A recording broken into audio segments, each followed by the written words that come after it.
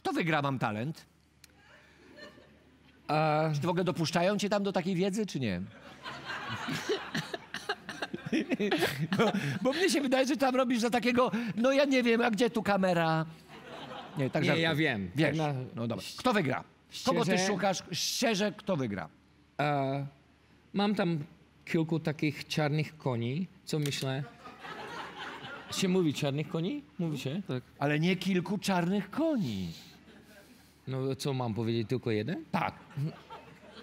Jak czarny koń, to zwykle jest jeden. Czarny koń tego wyścigu. Słuchaj, ale dopiero będą półfinała. To mogę ci powiedzieć we finalu. Janek, ten program pójdzie y, za paręnaście tygodni. Możesz mówić śmiało. I tak nagrywamy na półkę, jakby gość nie doszedł. No. Kto wygra? Kto jest twoim faworytem? Zobaczymy, czy to się sprawdzi. Grupa. No. Gruba? Grupa. A, grupa jaka się nazywa?